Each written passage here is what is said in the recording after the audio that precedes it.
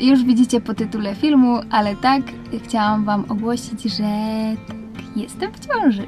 Jestem w ciąży i bardzo się cieszę. Mm, Już y, w zasadzie dobijamy do połowy. Nie mówiłam Wam o tym na razie, dlatego że stwierdziłam, że tak jak w poprzedniej ciąży poczekam na odpowiedni czas i stwierdziłam, że właśnie ten moment taki połowie ciąży jest już czasem takim, w którym chciałabym się z Wami tym podzielić. Oczywiście e, wiem, że wiele osób też e, trzyma tą wiadomość do końca, czy robi to na samym początku i absolutnie nie neguję ani jednej, ani drugiej z decyzji, dlatego że każdy robi po swojemu i sama zastanawiałam się, czy na początku Wam nie powiedzieć, dlatego że mm, stwierdziłam, że nawet gdyby cokolwiek, wiecie, różnie bywa w życiu, cokolwiek się wydarzyło, to po prostu, żeby przeżywać to z Wami, ale chyba jestem za słaba na to e, psychicznie i emocjonalnie, więc stwierdziłam, że po prostu niech się dzieje, e, niech sobie dzidzia spokojnie e, dojrzewa i powiem Wam jak uznam, że to jest ten czas. I teraz stwierdziłam, że tak, to jest ten czas.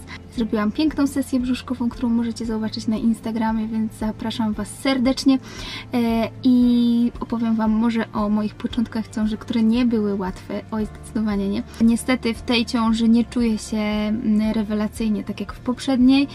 E, Jest, jest zupełnie inaczej. E, Mam i miałam w zasadzie, myślałam, że już te mdłości przejdą, ale też jeszcze się zdarzają czego nie miałam w poprzedniej ciąży. E, Nie zdarzały mi się mdłości w zasadzie w ogóle. Zresztą wiecie, że ja pracowałam do dziewiątego miesiąca ciąży i czułam się wyśmienicie. Natomiast teraz jest zdecydowanie gorzej. Często początki były takie, że leżałam na kanapie e, i na przykład od godziny 10 do 14 byłam nie do życia, nie mogłam nic zjeść za cały dzień. Dodatkowo, jak wiecie, e, miałam rotawirusa, później byłam przeziębiona, mam obniżoną odporność, o czym Wam też mówiłam, że, że się męczę, ale nie wiedzieliście, że nie mogę nic zażyć, więc była to męka podwójna, a, a niestety w ciąży chorowanie jest straszne. E, także tak, cieszę się bardzo, że mogę Wam wreszcie o tym powiedzieć. Cieszę się, że będziemy teraz już razem do końca e, przeżywać wszystko po kolei. Jak widzicie, e, już na, na moim Instagramie są zdjęcia z pięknej sesji brzuszkowej. Jeśli jeszcze mnie nie obserwujecie na Instagramie, to Was serdecznie do tego zachęcam, bo będzie tam dodawanych jeszcze więcej zdjęć z tej sesji, a wyszła moim zdaniem super. Bardzo się cieszę, że na tą sesję się zdecydowałam. W poprzedniej ciąży takiej sesji nie miałam i w sumie żałowałam, więc stwierdziłam, że jak nie teraz, to kiedy. Umówiłam się w momencie, kiedy ten brzuszek już był taki, że można było faktycznie go fotografować. On w zależności od dnia też jest inny.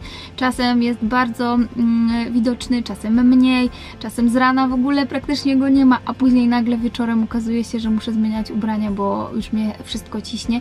Em, także tak, em, jutro idę też do lekarza na kolejne badanie i prawdopodobnie e, lekarz potwierdzi mi płeć, dlatego że na razie miałam tylko takie, że tak powiem, mm, no, przepowiednie. przepowiednie na zasadzie takiej, że no nie można było tego e, potwierdzić w 100%. Em, Będą też w lipcu urodzinki Aleksa i na tych urodzinkach właśnie będę chciała całej rodzince mojej ogłosić e, też e, właśnie płeć naszego drugiego dziecka. Także no ja jestem przeszczęśliwa, powiem Wam szczerze, że długo się zastanawialiśmy kiedy, kiedy się zdecydować na tą drugą dzidzię, ale widzieliśmy ile Aleks nam daje szczęścia i e, stwierdziliśmy, że, że nie ma na co czekać. Jestem ciekawa, czy się domyślaliście, bo pewnie dużo się teraz posypie komentarzy, że tak myślałam, tak wiedziałam, e, ale mm, starałam się to naprawdę dobrze ukrywać, więc e, gdzieś tam na przykład jakieś były sceny w filmach, gdzie było bardziej widać brzuszek, przejrzałam to z tysiąc razy zanim puściłam i takim okiem swoim patrzyłam, czy, czy jakaś kobieta w ciąży na przykład, która wie co się dzieje, e, nie domyśli się, czy gdzieś tam na przykład na blacie nie leżały jakieś tabletki, prenatal i tak dalej, wiecie, to wszystko jest takie ciężkie we vlogach do ukrycia, ale e, mam nadzieję, że że jesteście zaskoczeni i że się nie domyślaliście, jeśli tak, to dajcie znać po czym i w którym filmie, w którym momencie, czy tam na jakim zdjęciu mieliście pewne mm, jakieś domysły, ale wiecie, no to jest tak, że ym, to nie jest jakaś wielka tajemnica, że ja to musiałam ukrywać, ale jednak jest tak, że jak nie chcecie i nie mówicie o tym, to nie chcecie, żeby ktokolwiek snuł jakieś domysły i się Was wypytywał, no bo po to nie mówicie, żeby jednak zachować to w jakiejś tam tajemnicy. A po co i dlaczego zachowujecie to w tajemnicy, no to już jest tylko i wyłącznie Wasza sprawa. Więc yy, tak, ja się bardzo cieszę. Yy, już czekam na pierwsze mm, jakieś tam kopnięcia. Mam nadzieję, że to już niedługo. Z Aleksem czułam pierwsze ruchy dziecka w 20 albo w 19, bardzo wcześnie. Czasem wydaje mi się, że może coś poczułam, ale to chyba takie, wiecie, doszukiwanie się, a ja bardzo bym już chciała, więc na to, na to czekam. E, zapraszam Was, tak jak mówiłam, na Instagram. Mam nadzieję, że cieszycie się mm, razem z nami i że będziecie tutaj razem z nami czekać na Dzidziusia. Dzidziuś jeszcze w tym roku. E, tak, więc będzie między Aleksem a mm, jego rodzeństwem e, dwa lata różnicy mm, rocznikowo, ale troszeczkę więcej, jeśli chodzi o w miesiącach. Mm, prawie prawie 2,5 roku, ale też niecałe.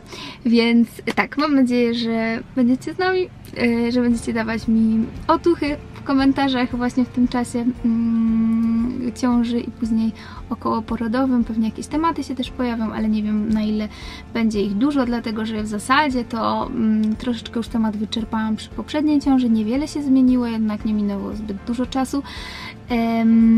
Natomiast na pewno będę jakieś jeszcze rzeczy kupować. Większość rzeczy mam, jakieś tam leżaczki bujaczki czy łóżeczko i mm, tak sobie pomyślałam nawet, że ekonomicznie przy drugim dziecku w zasadzie niewiele trzeba kupować, ale na pewno będę, ponieważ e, sama chcę i będę chciała mieć jakieś nowości. Będziemy też robić niedługo pokój Aleksika. To też będzie kolejny z filmów z metamorfozą, także czekajcie. Muszę kończyć, bo tutaj już e, zaczyna się robić hałaśliwie. Ja się z Wami żegnam. Buziaki. Pa!